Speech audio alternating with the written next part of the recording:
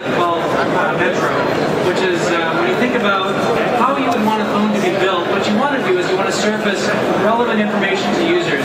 And so here what we've done is we've got um, a number of live tiles that we call them live tiles because they literally surface up information and content from the internet um, at any given point in time. So all of my people, when you look at the people, those are actually people in my contacts list from Exchange and Windows Live and Facebook.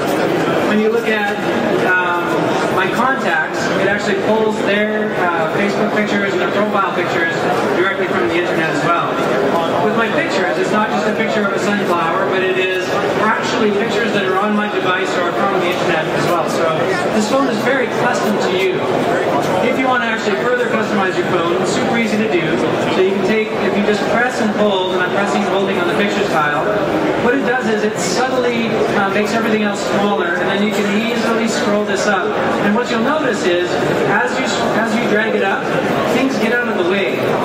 And so our designers, when they thought about this task, what they did is they said, well, let's make it really easy, but what we don't want to do is, you know, have long lists of things and have people renumber things and all that kind of stuff. We wanted to make it as what you see is what you get as possible, but also very intuitive.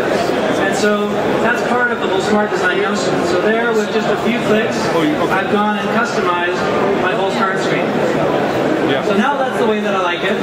Now what I want to do is um, talk a little bit about some of the very specific things. One of the most common things that people do is they use their um, phone to manage their day. So here when you flip up, you'll see that it has the calendar view, or the calendar.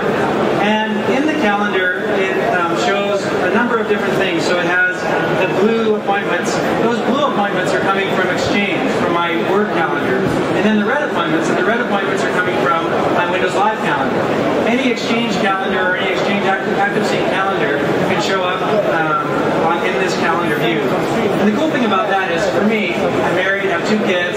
Um, it's really a challenge for me to manage all of their calendars. They have, my kids have swimming lessons and violin lessons, violin lessons and horseback riding. My wife has a part-time job, and so with this calendar view, I can easily look and see what anybody is doing at any given point in time, and then sort of easily manage my calendars and look at the calendars and make sure that um, I'm to manage my uh, my day most effectively. The other thing that we have is so when I'm looking at my calendar view here, I want to go and see the month view.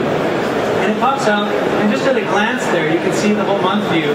And in general, you can kind of look and see, okay, there's more things that are happening on the 17th than there is the week of the 8th, 9th, and 10th. So, you, you know, just with very small um, text there, very light text, you can quickly at a glance see that stuff. So we'll jump back into um, today.